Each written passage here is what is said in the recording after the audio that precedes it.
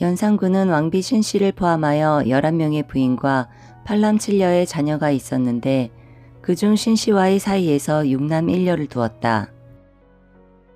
신 씨의 자녀 중 중종 반정 때까지 살아있던 자녀는 세자 이황, 창녕대군 이성, 휘신공주 이수억 분이었다.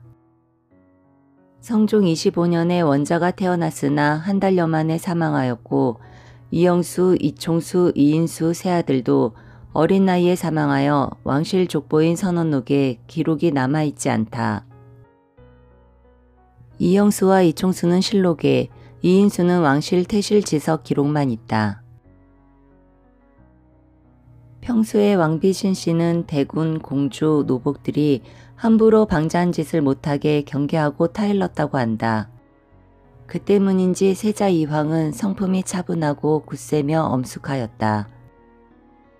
세자를 책봉할 때 원자 황은 자질이 온화하고 도량이 원대하며 어릴 때부터 높게 빼어나서 이미 성인의 도량이 있었다고 하였다.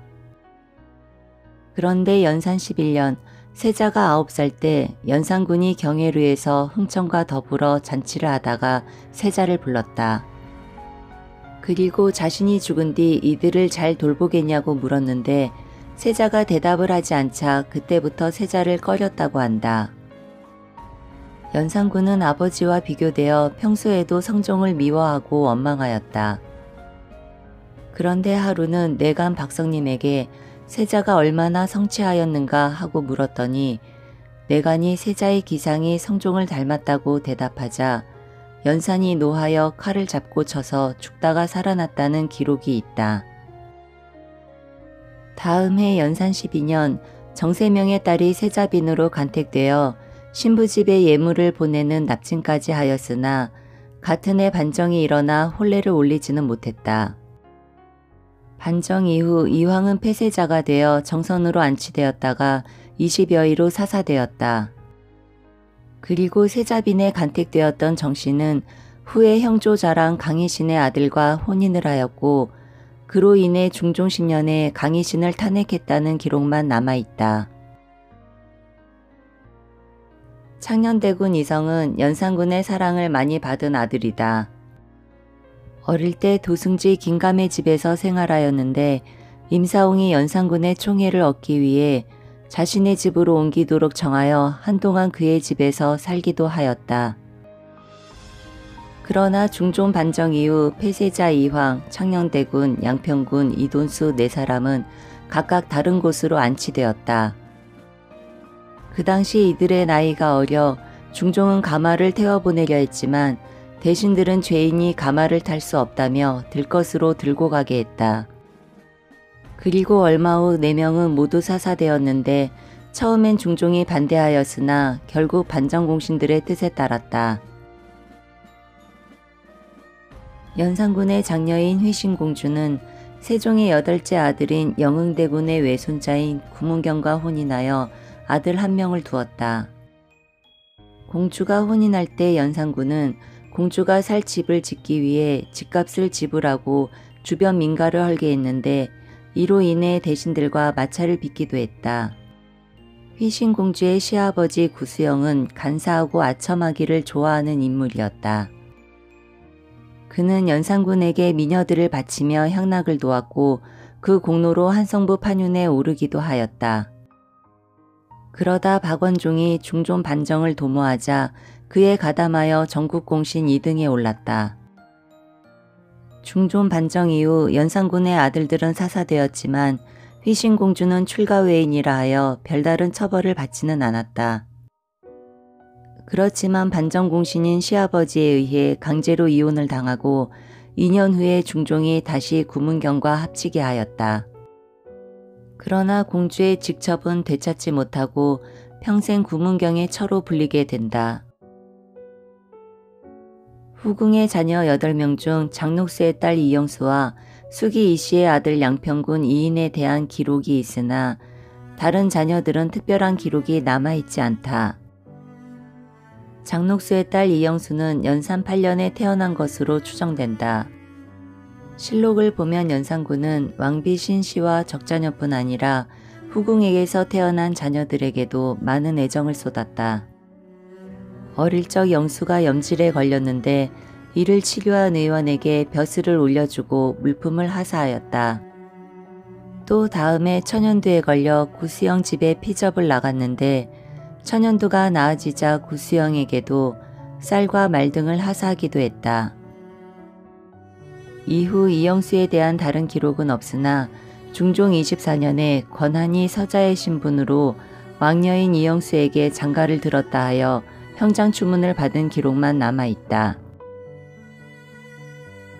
연산군과 수기 이씨 사이에 양평군 이인이 있었는데 어릴 때 여러 해 동안 수기 이 씨 친척인 이손의 집에 피첩하였고 그를 아버지처럼 따랐다. 그러나 그 역시 반정 이후 다른 형제들과 함께 사사당했고 그때 나이가 아홉 살이었다.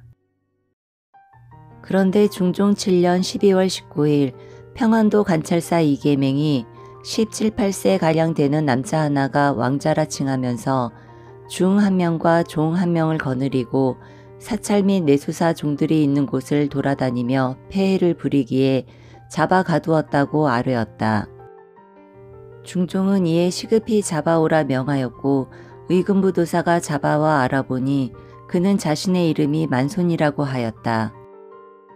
저는 올해 15세로 연산군의 후궁인 수기 이씨 아들 양평군으로 남학동에서 자랐습니다. 6살 때 반정이 일어나자 보동이란 노비가 이름을 알 수 없는 나와 비슷한 나이의 아이를 대신 내어놓고 파란 보자기로 나를 덮어서 도망쳐 근방 산에 있다가 개골산으로 도망쳤습니다. 노비 보동과 함께 우대선이라 불리는 중에게 의탁했었고 지리산 상원사에서 1년, 묘양산 보현사에서 두 해를 머물렀고 그때 보동이 죽었습니다. 이후 안주 원통사에 머물 때 그 절의 중죽청에게 내가 왕자인 것을 말해 주었습니다. 죽청은 자신의 동생과 내수사의 종 효문에게 그 사실을 알려주었고 종 효문이 소문을 내었습니다. 그리고 이 사실을 고을 목사에게 알리면 선처할 것이라며 서간을 보냈더니 나를 황당한 사람이라며 잡아가두고 관찰사에 보고한 것입니다. 그러자 이 소식을 듣고 어릴 적 자신을 키워주었던 판이금 부사 이손이 직접 찾아왔다. 이손은 반정이 일어나는 날 그의 유모와 보모가 몰래 영춘군의 집으로 양평군을 데리고 가는 것을 보았다고 하였다. 그리고 후에 유배되어 사사되었고 이후의 일은 알지 못한다고 하였다. 그 당시 양평군은 아홉 살이었으며 큰 진주 귀걸이를 달았고 백회에 뜸뜬 흔적이 있으니 진이를 갈릴 수 있을 것이라 하였다. 그렇지만 비록 양평군이 맞다 해도 나라를 속이고 도망가 있었으니 용서할 수 없다고 아뢰었다. 이소는 자신이 명을 어기고 양평군을 빼돌린 것으로 오해받을까봐 병중에 달려온 것이었다.